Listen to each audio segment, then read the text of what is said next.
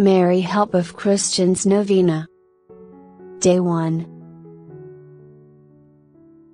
In the name of the Father, and of the Son, and of the Holy Spirit. Amen.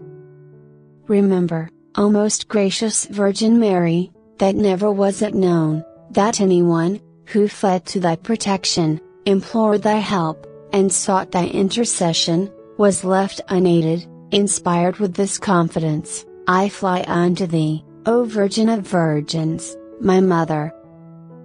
To thee do I come, before thee I stand, sinful and sorrowful, O Mother of the Word incarnate, despise not my petitions, but in thy mercy, hear and answer me. Amen. Mary, help of Christians, you help defend the Christian faith, over the course of history.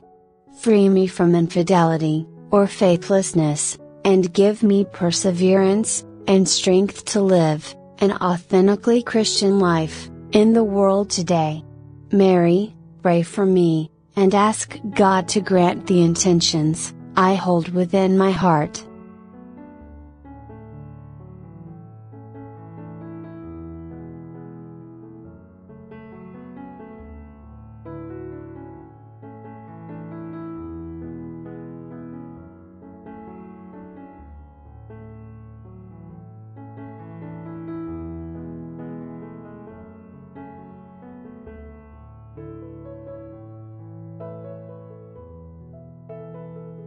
Most loving Mary, you were given to all Christians, as their help and protector, in the most difficult times, in the life of Christians, and the life of the Church.